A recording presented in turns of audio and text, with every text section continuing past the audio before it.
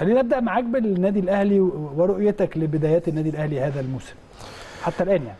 آه، طبعا إحنا النادي الأهلي طبعا أكيد بدأ season ببطولة سوبر الأفريقي وما كانش فيه توفيق فيها ولكن آه، يعني من الظلم برضه إنك أنت بتلعب ماتش واحد فطبيعي مش مش مش مقياس لأن دي ماتش واحد أنا متأكد النادي الأهلي لو تعادل الماتش ده تاني أكيد الفرص اللي جت ما كانش فيها توفيق أكيد آه، في المباراة الثانية كان هيبقى فيه توفيق مم. والنادي الأهلي طبعا لما بياخد يدخل بطولة أكيد بي- بيلعب على المكسب دايما. ف آه، لكن اللي يهمني ال- ال- ال- ال- على المستوى ال season كله يا كابتن إسلام أنت عندك بطولات كتير. فطبيعي النادي الأهلي آه، يبقى عنده squad كبير جدا.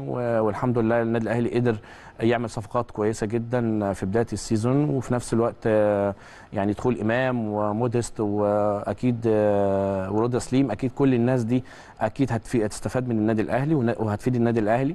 ف يعني بداية كويسة جدا ويمكن قلت إن ساعات ممكن البطولات في البداية ساعات بتخلي بس طبعا مش مع النادي الأهلي النادي الأهلي نادي كبير بيلعب على البطولات دايما.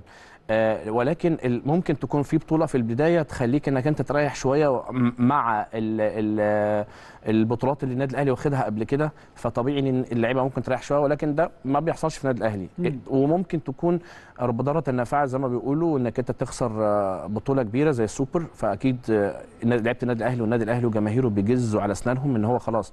وده اللي أنا قلته. بداية كانت قوية جدا في الدوري مع النادي المصري. آه، يعني بصراحة النادي الأهلي أنا متوقع إن كل ماتش مش أقل من 2 3 أهداف لأن عندك آه، الجزء الأمامي قوي جدا آه، الجزء اللي من خلف كمان الناس نص الملعب بتكمل زيادة بتعمل زيادة عددية بتجيب اجوال فأنا شايف النادي الأهلي السنة دي آه، فريق قوي. آه، بدأ الدوري كويس squad كويس. آه طبعا squad كويس جدا و- وكان في ناس بتتكلم على إن في فرق فيها squad كويس آه، وهي بتبقى رقم واحد. لا أنا شايف النادي الأهلي هو أقوى. آه طبعا بعض الفرق دعمت وعندهم آه لعيبة كويسة جدا ولكن النادي الأهلي سيظل النادي الأهلي وباللعيبة اللي موجودة بجمهوره العظيم اللي موجود أكيد بمسانده الإدارة. فبداية كويسة جدا للنادي الأهلي وفي توقف أكيد آه مستر كولر أكيد هيعيد حساباته الناس اللي كانت مصابة هترجع تاني ولان ال season لسه طويل فأتمنى لهم التوفيق إن شاء الله.